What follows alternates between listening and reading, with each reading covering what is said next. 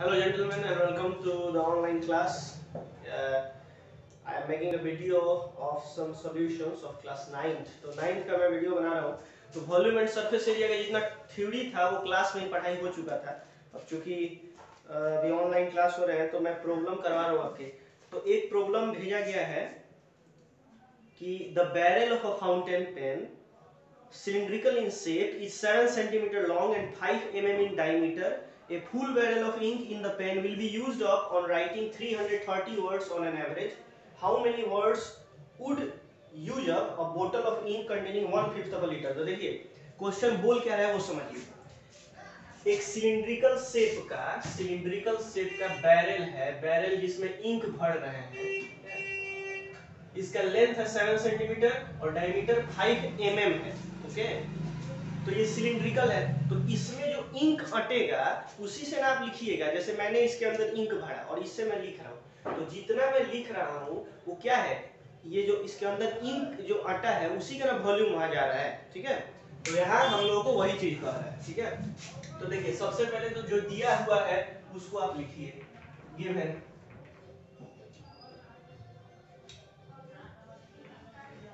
Length of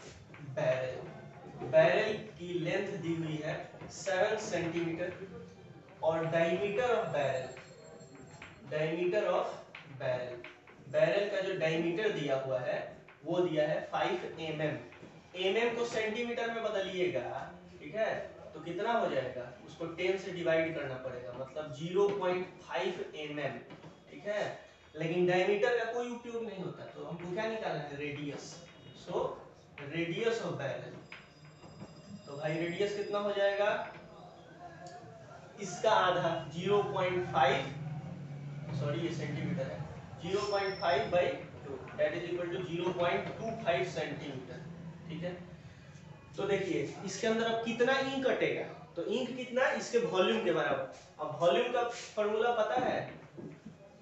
Volume of barrel volume of ink in barrel कितना होता है? Cylinder का वॉल्यूम याद कीजिए, पाई आर स्क्वायर एच ठीक है?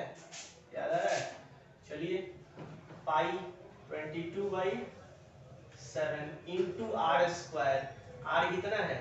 0.25 मतलब 25 by hundred into twenty five by hundred into height height कितना है भाई? सेवन सेवन से सेवन खत्म, पच्चीस चौका सौ, पच्चीस चौका सौ, चार से ये दो हो जाएगा, ये ग्यारह हो जाएँगे। बच कितना जाएगा?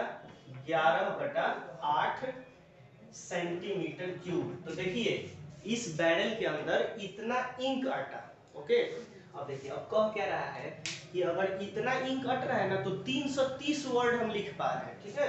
तो so so